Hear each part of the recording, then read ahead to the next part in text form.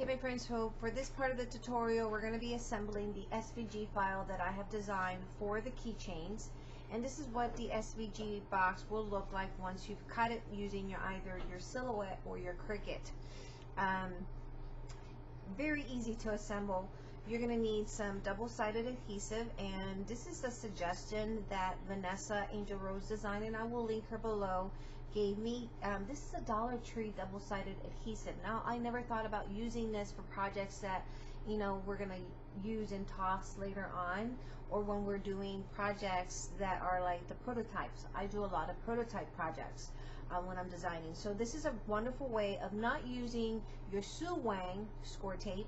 You can use the double-sided tape from Dollar Tree, which is a whole lot affordable than wasting your good tape. So Thank you, Vanessa, for suggesting that. And again, I will link my friend's uh, YouTube channel below so you guys can go check out her website or her YouTube channel because she's always offering quick, easy tips and organ organizational ideas that you can use in your craft room.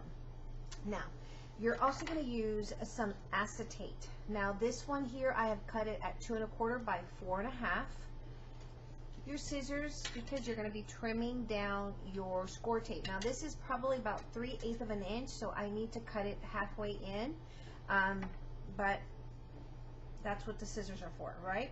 You can use some embellishments um, to decorate the outside of your box. You can put a little sentiment, whatever you want. You can put some seam binding, tie a bow on it. The sky is the limit with this, and it just makes a beautiful way of housing these little keychains. If you're going to craft fairs, you can put your little keychains here and you can cut these as many as you need. Now, when you're cutting these on your Silhouette or your Cricut, it takes about an 8 by 12 sheet of cardstock. I use an 80 pound cardstock, so just keep that in mind. It is heavyweight cardstock. Um, for the settings, just check your blades um, as far as how you're going to set your settings, but I always have it on a heavy weight cardstock when I'm cutting these, okay? Now again, another quick tip is on the silhouette, unless you have the silhouette, the newest silhouette, that's the Cameo 5. Now the Cameo 5 does have a score blade. So when I make this template available for sale on my website, um, I will have it with the perforated lines for those who are um, cutting and do not have a score blade um, or for those uh, that have any machine that doesn't score okay? So just keep that in mind. I will also have it for those that do have a score blade. I know that in Cricut if you upload the um, SVG file you can go in there and select the line you want to score and go up to your um, outline and select it for it to be scored. You do have to switch out blades. Now with the Cameo 5 for Silhouette, there is a new um, scoring blade. I have not yet opened my machine. I'm probably going to do an unboxing of that here shortly, but just so you know, that one has a score blade particularly particularly made for the Cameo 5. I will demo that here shortly in the next couple weeks um, so you guys can see how easy it is to score. In the meantime, I have just gone ahead and scored those lines. So let's get started. I'm going to go ahead and take my score tape. Um, I need to go back to Dollar Tree and buy more of these. Um, the Dollar Tree here where I live, um, they didn't have much, so yeah. Alright, so the first thing I'm going to do, I'm going to set these aside. I'm going to grab one of my templates, and I use, um, like I said, it's an 80 pound score. So where you're going to put this score tape, it's going to be here, right? So you're going to grab your acetate, that's two and a quarter by four and a half. Pretty much measure it up to where I'm cutting, about so. Um, and then I'm going to take my scissors and just trim it right, cut right in the middle.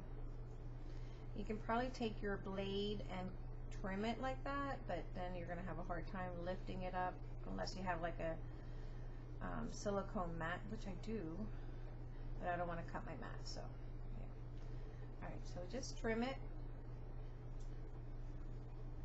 halfway down.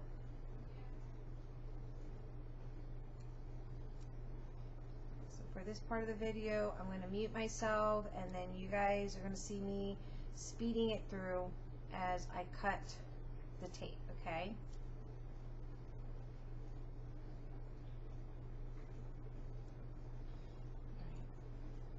So again, before I start speeding, I'm going to take this and I'm going to lay it on the outer, flush it against the outer line or the outer edge of my acetate on both sides.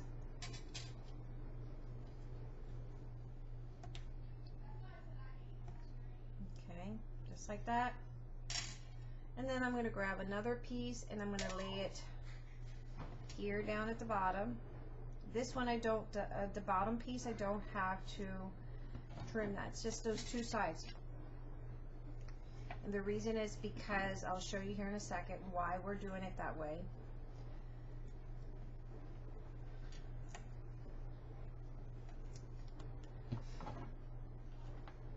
Okay. And before I start speeding up, I'm going to briefly talk. Okay. So one thing you can do is you can grab a paper towel, wipe, make sure it's dry, and kind of run it through your acetate to remove any smudge marks. Alright, so the reason why we trim the side pieces is because where this is going to sit in the inside of, this is the front, and you know it's the front because it has that embossed look on it. It's the inner edge. You, you don't want it too wide so it doesn't stick out right. So we want that to sit right like so. See that? Okay. So I'm going to go ahead and remove the film backing.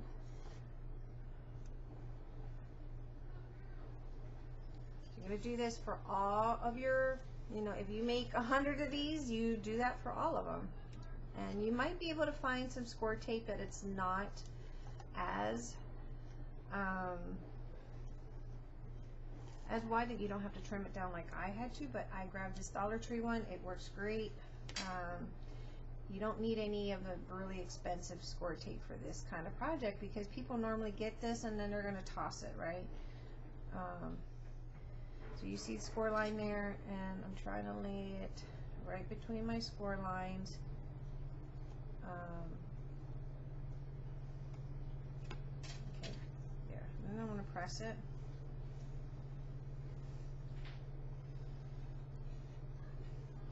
All right, that's it. And then now we're going to take um, our template where the perforated marks, we're just going to fold in like so.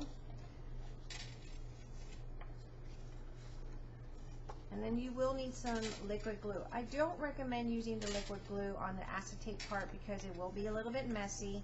So I don't recommend that, okay? All right, so then you'll have this. So what you're gonna do is you're gonna bring this flap over. You're gonna fold this one in. This is the front, and then this is the side piece here. You're gonna fold that in. Grab your liquid glue.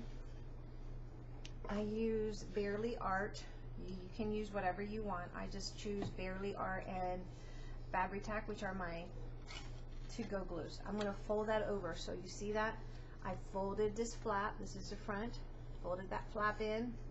And then this flap here, I'm going to bring it over and sit it on top of that flap, right? Okay, see that? So on this little flap, I'm going to grab my wet glue. This is the only time I recommend using your wet glue do not use it on your acetate because it could leak out and you don't want that. Okay, so then I'm going to fold that over. That way it sits right on top. Grab your bone folder if you want or use your finger. Run it through and voila, that's your box. That's it. Fold that in like so. Fold that flap, put that in, okay and then you'll have this here and pull that in so the other part of this SVG file is that you get this little card here, okay?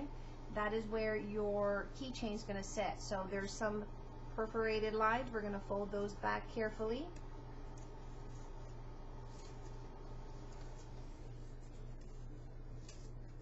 Okay. Like so. I'm going to grab the one that's for the this one here.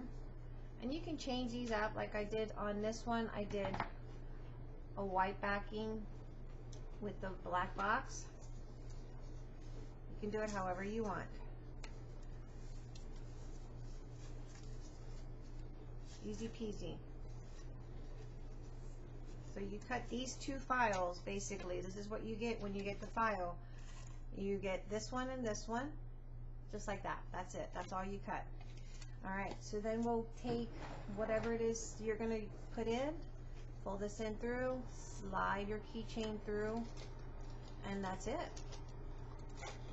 That is all you do. You can um, glue your flaps down if you want, but if they're going to be opening it up as a gift, you may not want to do that. And then pull that in, and then pull that flap down.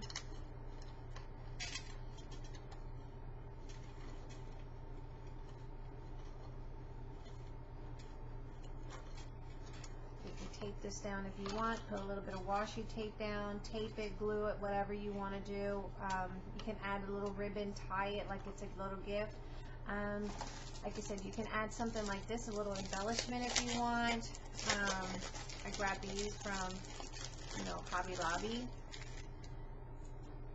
You can add that if you want, whatever you want. It doesn't, not, not, you don't necessarily have to decorate your box. That's just an idea. Some people like to go a little extra. These are going to be gifts. So, um, we're not going to go all the way out, but, you know, that's just that. Alright, so for the next one, you're going to see me do it really fast as we assemble these, okay? So I'll try to be quiet, but um, you'll see me working through. Alright, so we're going to start. Boxes. As you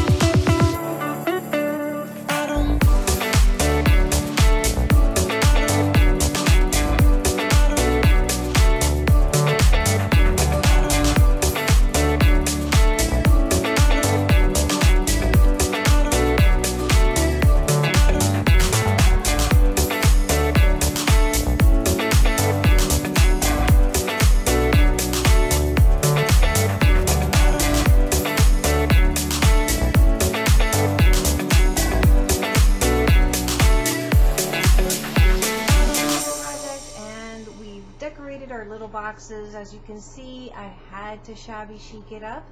Um, I just added some seam binding, some little crochet doily that I had in a bling, just to kind of give it a little bit of cutesy look to it. You can add stickers, you can add whatever you want, as I said before. Anyway, this is it. I hope you enjoyed this video tutorial and if you're interested in purchasing the SVG file for this cute box, let me know in the comments below and as soon as we have the website up and running, I will contact you and let you know that it is now available on our website. Carla is working diligently to get the website up and going. Primarily, we're going to have a lot of the SVG files and a lot of the findings that we find in thrift stores, etc., etc. But this is the first little cute project that we have created on behalf of myself, Carla, and baby Emma. I hope you enjoyed our cute little project that we created. Until next time, bye.